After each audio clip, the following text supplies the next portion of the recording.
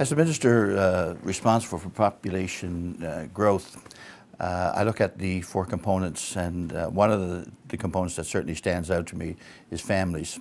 Uh, I'm the father of uh, five children, 10 grandchildren, another one on the way, due in August. And, you know, my children are able to, to live in this province.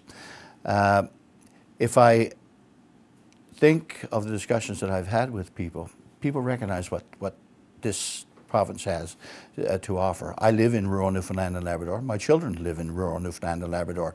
So this strategy is about ensuring that people recognize what we have in this particular place, and it's a wonderful place to raise a family and your children.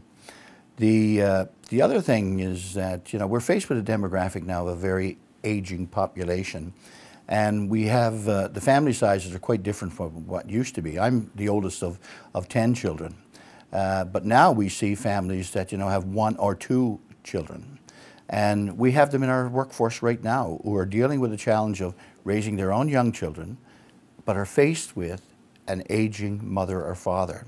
So what we've got to do is we as a government have to be lead in showing how we can be progressive and find that work balance so that they're able to provide for their children and their parents and we can, we've got to be accommodating within government. Also, we have to partner uh, with the businesses and our community organizations to see how we can make that more effective and support people in finding that work balance.